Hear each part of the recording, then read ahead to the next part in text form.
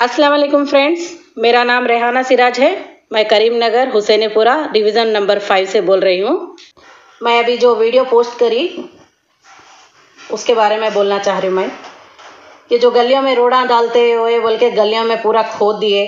सीढ़ियाँ चढ़ने के लिए सीढ़ियाँ नहीं है, दरवाजे रख लेके, लोग लकड़ियाँ रख लेके, कितने दिन चढ़ेंगे? परसों अम्मी आए थे हमारे। घर पे मिलने के लिए गिर गए। अब दो दिन दवाखाने में थे, उन्होंने घुटने पे मार लग गया। बच्चे चढ़ने आ रहे, बच्चे गिर जा रहे। फिर ये आखिर ये रोड बनते कब? ये सीढ़ियाँ तोड़ दिए। फिर ये क्या काम है कि तुम्हारा पाइपलाइनों का कंप्लीट कर दे कि रोड जो डालना है डाले? तो आवाम चलने के लिए सहूलत होती ना। ये हुसैनीपुरा में रोड डालना है बोल के रैम्प तोड़ दे के, पाइपलाइन डालना है बोल के घरों के सामने गद्दियाँ तोड़ दिए, चढ़ने सीढ़ियाँ तोड़ दिए। हाँ दरवाजे डाल के लकड़ियाँ डाल के कितने दिन चलेंगे हम लोग अब ये? देखो एकदम परसों उतरना नहीं आके गिर गए वहाँ घर में। इतना बड़ा हादसा हो गया। अब कौन जिम्मेदार इसका? ये रोड़ा आखिर कब पड़ेंगे हमारे महल्ले में? बड़े आदमी गिर गया हाँ बड़े आदमी गिर गए उतरना नहीं आके उनको अब दवाखाने को लेके जाना पड़ा। अब ये किसके जिम्मेदार कौन है अब ये? खोद के छोड़ दिए तो हो गया अब ऐसा। वो कब बनती? रोड कब बनती? तीन साल पहले मेरा रैम्प आके तोड़ दिए थे। रोड बनाना है कई को डाल रहे कई को डाल रहे बोल के गली में चलेंगे बोले तो कैसा है गली की हालत? देखो, नई मस्जिद की रोड देखिए, आते अब कैसा है। रोड नंबर नाइन से अंदर आने के बाद में गली में आए तो कमर में तकलीफ़ है तो कितनी तकलीफ़ हो रही, कितने गालियाँ निकल रहे? मुँह से मालूम है? क्या है ये? हम, हमारी तकलीफ़ को समझने वाले कोई भी नहीं है बोले, ऐसा। अब गिर गए वो, कौन जिम्मेदार अब किसको बोलना है हम लोग ये कब से ही होते हुसैनीपुरा के रोड़ा सब आवाज़ उठाना पड़ता फ्रेंड्स अब किसके जगह वो लोग सोच लेके अपन खामोश बैठे तो ये ऐसे ही होता है। उन बोलते होंगे, इनो बोलते होंगे बोल अब तीन दिन से स्ट्रीट लाइट भी नहीं थे गली में। कोई भी नहीं है, कोई भी ज़िम्मेदारी से पूछने वाला नहीं है। अब ये क्या है? कितने दिन ऐसा बर्दाश्त करेंगे? कितने दिन बर्दाश्त करेंगे अभी ये, बोलिए आप? बड़े बूढ़े लोग रहते, कैसा चलते घर में, कैसा आते?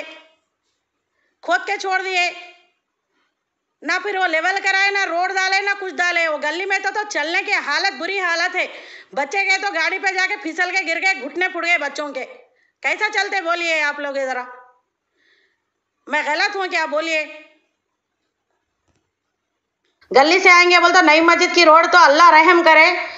वो इतनी खराब हो चुकी है रोड उसमें, और चिक्कड़ पूरा मिट्टी कहीं की खुदाई सो मिट्टी डाल दी है। उसके वजह से परसों टायर स्लिप हो गया। चलना नहीं आ रहा था। कौन करते अब ये?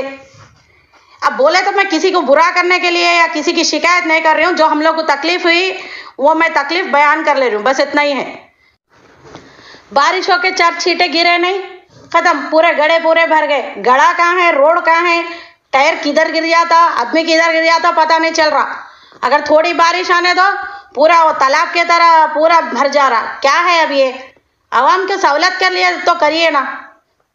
क्या करना फिर अब हम लोग? इतनी तकलीफ़ हो रही इस वजह से हम लोग को सामने आके बोल लेना पड़ रहा अभी। इस वजह से अगर किसी को तकलीफ़ हो रही तो मैं माफ़ी चाह रही हूँ। मेरा इंटेंशन ये नहीं है कि आप बुरे हैं, आप ऐसे हैं वैसा है, किसी के बारे में मैं नहीं बोल रही हूँ। जो हम लोग को तकलीफ़ हो रही है उसके बारे में मैं बयान कर रही हूँ। प्लीज़ खुदा के वास्ते जो कुछ भी खुदाई हुए करके गड़े वड़े कहाँ पे जो कर दिए, घरों के सामने जो सहूलत नहीं है उतरने की, चलने की, उसको ज़रा सही करा दे तो मेहरबानी होती आप लोगों की। अब कुछ कदम उठाइए, आगे बढ़िए, ज़रा कराइए हमारे लिए, सहूलत दीजिए। बच्चों को मारा लग रहे, बड़े बुज़ुर्ग गिर जा रहे। गली की हालत सही नहीं है। अगर मैं झूठ बोल रही हूँ या गलत बोल रही हूँ तो फ्रेंड्स आप खुद ही बोलिए। अगर गलती दिखा, गलत दिखी मेरी बात, आप लोगों को किसी को गलत लग रही तो बोलिए फ्रेंड्स ये जो हम लोगों पे बीत रही, जो हम लोगों को हुआ, इस वजह से मेरे को, ये गुस्से में वीडियो बनाना पड़ रहा मेरे को। बस फ्रेंड्स यही मेरा एक छोटा मैसेज था। अगर उन तक पहुँच गया तो ये मैसेज बहुत मेहरबानी होती। अगर ये जल्द से जल्द ये महल्ले का काम अगर करा दिए तो सहूलत मिलती हम लोगों को। बस इतनी हमारी गुजारिश है। इसमें किसी से हम लोग को गुस्सा नहीं है, किसी से कुछ बोलने का नहीं है। ओके बाय अल्लाह हाफिज़।